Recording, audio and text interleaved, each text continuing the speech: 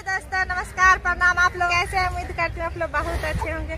और दोस्तों, आप लोगों को स्वागत है मेरे पापा के लगाए हुए बगीचा में। बगीचा में तरह तरह के सब्ज़ियाँ जो है पापा रोपे हुए हैं। अंतरा भी आ रही है। तो चलिए दोस्तों, आज मेरे किचन में बनेगा बकुला का रेसिपी तो आइए बकुला हम खेतों में से ताज़ा ताज़ा तोड़ लेते हैं। बहुत सारा जो है पेड़ों में फरा हुआ है। तो आइए चलते हैं और तोड़ते हैं। चलते हैं।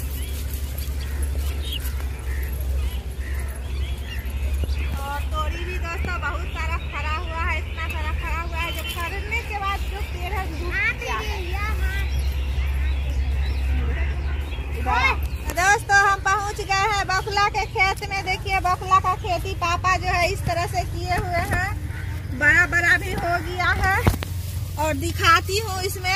अंदर में देखिए दोस्तों, किस तरह से जो है बकला हरा हुआ है। ये देखिए दोस्तों, पत्ता से जो है छिपा हुआ रहता है तो पता नहीं चलता है। और इसी का हम रेसिपी किचन में बनाएँगे और अंतरा जो है डूब ही गई पेड़ में, पेड़ के अंदर। तो चले दोस्तों, बकला से तोड़ेंगे, नहीं तो पेड़ जो है टूट जाएगा। नाजुक पेड़ होता है। क्या ये फरा हुआ है? जो रेसिपी बनाने लायक है, बस हम उसी को तोड़ेंगे। ज़्यादा छोटा हम नहीं तोड़ेंगे।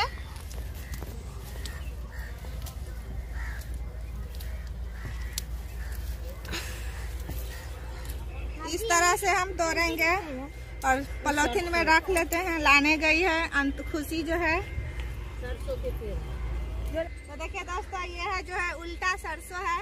इसमें पीला पीला सरसों फरता है। जब इसे पकेगा तो हम काटने आएँगे और आप लोग को दिखाएँगे। देखिए, उल्टा गम में जो है दोस्तों, ये फरता है। तो यहाँ मेरे यहाँ गाँव में इसे उल्टा सरसों बोलते हैं। तो चलिए।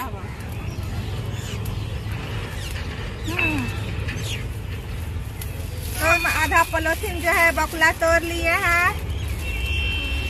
और और चलिए दोस्तों, अब चलते हैं किचन में और बकला का रेसिपी बनाएँगे एकदम देसी अंदाज में। आप लोग मेरे वीडियो में कंटिन्यू बने रहिएगा। आइए चलते हैं घर। चलिए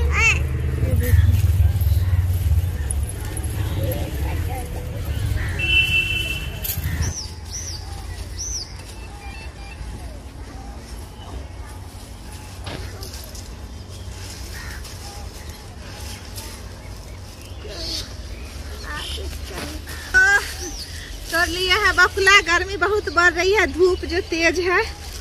पलोथिन में आधा के जी तोड़े हैं। आप किचन में चलिए और बनाते हैं। तो दोस्तों बकला तोड़ कर हम किचन में आ गए हैं। तो चलिए दोस्तों बकला को फ्रेश से धोते हैं। धोकर ले आए हैं। बकुला को बताइए दोस्तों रेसिपी बनेगा तो सबसे पहले बकुला को हम फ्राई कर लेते हैं। हल्का तेल डालकर। तो चलिए दोस्तों, हल्का तेल डालकर फ्राई करते हैं। आए गर्म है तो हम इसमें तेल डाल देते हैं। तेल गर्म हो गया है तो चलिए हम बकुला को डाल देते हैं।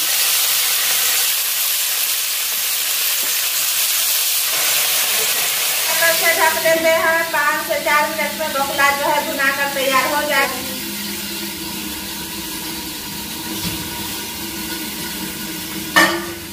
प्याज काट लिए हैं, मिर्ची काट लिए हम टमाटर काट लेते हैं।